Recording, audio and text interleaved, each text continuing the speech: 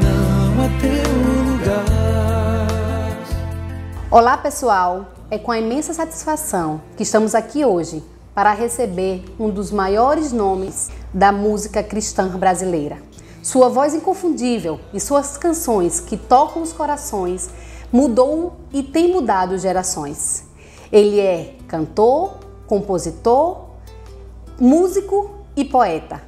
E estamos aqui para conhecer mais da sua vida, da sua experiência e de onde você tem tirado toda essa inspiração. Seja bem-vindo, cantor Sérgio Lopes. Obrigado, pastora Vanessa. Satisfação toda minha também estar junto com vocês também. Estão assistindo a gente aí em casa. Espero que seja um, um momento agradável que a gente vai ter aqui e de informação para você que está em casa. Amém. Sua carreira como cantor cristão tem sido marcada por músicas profundas e emocionantes que tocam a vida de muitas pessoas. Qual a inspiração por trás das suas composições? Como você acredita que sua música impacta o público? A inspiração vem de momentos especiais com Deus, experiências que eu vivo e dessas experiências que eu tenho na vida pessoal acabam surgindo essas músicas. Outras músicas surgem em inspirações espontâneas, repentinas, como por exemplo a música O Lamento de Israel, que é a minha música mais conhecida hoje, Chora Israel, Verdade. Babilônia não é teu lugar. Essa música surgiu num momento completamente inusitado. Eu tinha acabado de chegar do quartel, eu fui fuzileiro naval durante 15 anos, chegando do quartel uma determinada tarde, fui preparar o sermão para a noite e me deparei com o versículo de Isaías 41, 14. É, não temas, ó bichinho de Jacó, povozinho de Israel, assim diz o Senhor, e o teu redentor é o Santo Israel. Essa expressão bichinho de Jacó foi que me inspirou a compor essa música, O Lamento de Israel. Ali eu peguei uma caneta, um violão e, de uma forma é, que não, não tinha planejado, surgiu essa música que se tornou praticamente a minha, a minha marca, né? O Lamento Verdade. de Israel se tornou uma marca no meu ministério. Essa música é de 1997 e até hoje não tem uma só apresentação minha que eu não tenho que cantar essa música. Ah, se não cantar o povo pede, né? É, é como se eu não tivesse estado ali. Verdade. É... Qual foi a... a segunda pergunta? Foi, foram duas perguntas numa só. É, qual a inspiração por trás das suas composições é, e como você acredita que sua música impacta o público?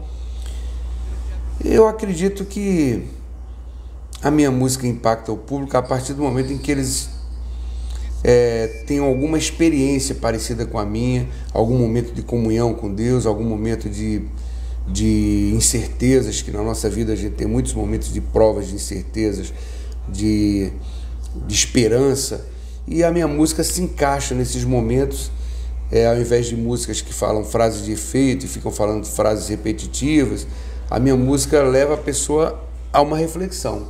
A pessoa começa a ouvir a música que eu estou falando, então ela é impulsionada aí até o fim da música para ver como é que é o desfecho da música, né?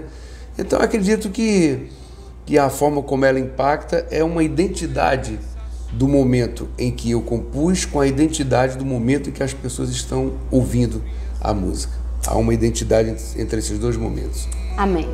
Quase sem vida,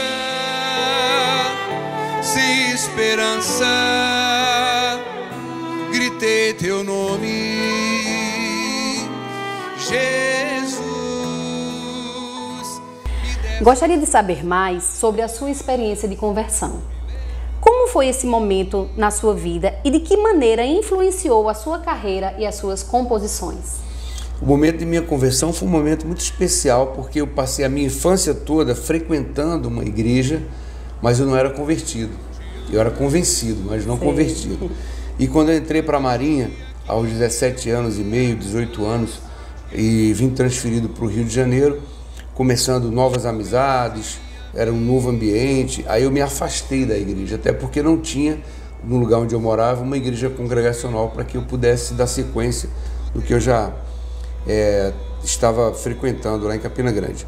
Resultado, fiquei sem frequentar a igreja, fiquei sem amigos é, crentes, só tinha os amigos do quartel, comecei a sair com eles para as noites, começamos a, a, a, nos divertir nas noitadas que a gente tinha é, nos finais de semana, até que um dia eu tive um encontro verdadeiro com Deus numa igreja de São Cristóvão, um bairro do Rio de Janeiro. Eu ia apenas acompanhando um amigo para esse Sim. culto, mas nesse culto eu já completamente afastado da igreja, Deus usou aquele pregador para falar comigo. Aí eu comecei a chorar, entendi como se aquela mensagem tivesse sido realmente para mim.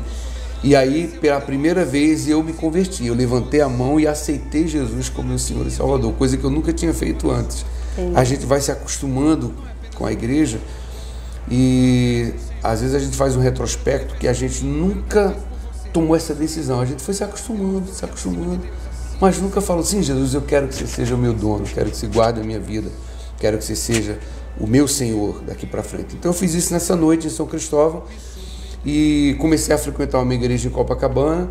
E dessa igreja em Copacabana, a Igreja Batista Central de Copacabana, foi que nós juntamos um grupo de músicos e organizamos uma banda que demos o nome de Grupo Altos Louvores. E ali foi onde eu tive meu começo na música. Entendi. Gente, lembrando que ele é nordestino, ele falou Sim, aí Campina Grande. Campina Grande, Paraíba, onde eu nasci e fui criado. Lhe falei do meu passado e me perdoou. Isso teve um alto preço que ele já pagou. Como artista cristão, você tem a oportunidade de transmitir mensagem de esperança, fé e amor através da sua música. Como você equilibra essa responsabilidade com suas experiências pessoais e quais são esses desafios? É uma pergunta complexa, veja bem. As experiências pessoais, como eu já tinha respondido na primeira pergunta, me levam para momentos de, de tristeza, ou de alegria, ou de ansiedade, né? E nesses momentos que saem essas composições. Eu, nesses estados de espírito, eu pego meu violão, pego um papel, uma Bíblia, boto do lado e começo a compor. Então, um piano ali no, é, na minha casa tem um, um piano onde eu costumo sentar também para compor. E a pergunta foi que ela é muito parecida com a primeira. É, a questão de como você equilibra essa responsabilidade das suas próprias experiências pessoais e quais são esses desafios. Como você equilibra essa situação de estar tá compondo, de tra trazendo a mensagem para as pessoas com sua vida pessoal? Ah, isso é muito fácil. É muito fácil porque ah, todos nós temos uma vida espiritual. A gente tem o nosso trabalho, onde a gente acorda cedo, vai e bate ponto e passa o dia todo resolvendo os problemas ali do trabalho. As pessoas comuns têm isso. Eu também já tive nos 15 anos que eu fui fuzileiro naval. Mas os momentos de reflexão são aqueles momentos que a gente está fora disso tudo, né? Tá, o momento que a gente se retira para nossa vida pessoal, nossa vida particular em casa. É, durante a madrugada, é um horário que eu componho muito durante a madrugada. Quando a gente para com a, o frenesi do trabalho, a gente começa a entrar nos nossos problemas particulares, os pessoais que a gente tem. E aí eu consigo equilibrar dando para cada momento a sua finalidade. Uma hora eu estou trabalhando, sou advogado também, tem hora que eu estou concentrado num processo, nesse momento eu não consigo compor. Mas tem hora que para, o processo é concluído, eu dou entrada, ainda volto para a minha vida normal e começo a refletir, tenho algum momento de comunhão com Deus e aí surge a minha música. Eu consigo equilibrar bem esses dois momentos. Ah, que benção. É, muitos fãs e admiradores são tocados pela sua voz poderosa e pela sinceridade nas suas interpretações. Como você se prepara emocionalmente antes de subir ao altar e o que você espera transmitir ao público hoje aqui na Igreja Batista Evangelizadora? Esse preparo emocional já começa na saída do hotel, na saída do quarto para onde eu vou. Eu, por exemplo, eu tenho o costume particular de deixar o telefone no hotel. Eu não quero me envolver com nada a partir do momento em que eu saio para ministrar. Então eu deixo meu telefone no quarto do hotel e todos os assuntos ficam para trás e eu vou em direção a um lugar de adoração em que Deus é o centro das, da minha atenção, pelo menos, deve ser também da igreja, mas pelo menos no meu caso, a partir do momento em que eu saio com destino a uma ministração, é, eu me concentro completamente naquilo que vou fazer. Sei que muitas pessoas que vão estar me ouvindo naquela noite, no lugar onde eu estou indo, têm seus problemas emocionais, têm seus problemas particulares, ouviram minha música e vão em busca de uma mensagem. E essa mensagem eu levo é, a partir do momento em que eu saio do, do, do, do, hotel, no lugar onde eu estou concentrado, essa mensagem já vai, eu já vou deixando o Espírito Santo trabalhar. O que, que eu vou falar hoje? E muitas vezes até muda. Na hora que eu chego na igreja, ele muda completamente a direção e fala, ó, conversa hoje com o povo sobre essa música, sobre aquela música, sobre a música tal. E normalmente essas, essas, é, esses compartilhamentos que eu faço com o público são é, de episódios bíblicos, vividos por Cristo ou vividos por seus discípulos. Normalmente são momentos assim que eu compartilho com a igreja que está me ouvindo. Amém. É importante ter essa sensibilidade, né? A palavra diz que o coração do homem faz plano, mas a resposta certa vem dos lábios Amém. do Senhor. Então a gente se prepara, né? A gente busca a Deus, mas se coloca como instrumento para que ele possa usar conforme o seu querer e conforme lhe apraz. Amém. Amém? Agradecemos sinceramente todas as respostas compartilhadas e, e, foi importante a gente conhecer um pouco mais do cantor Sérgio Lopes.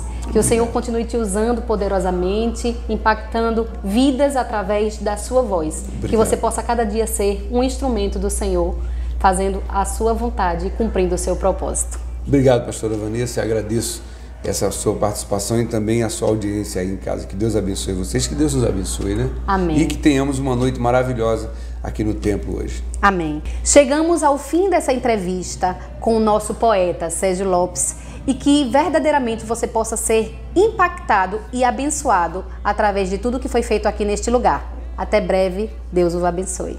Deus abençoe, paz. Eu insisto em dizer, a solução está em Cristo. Eu insisto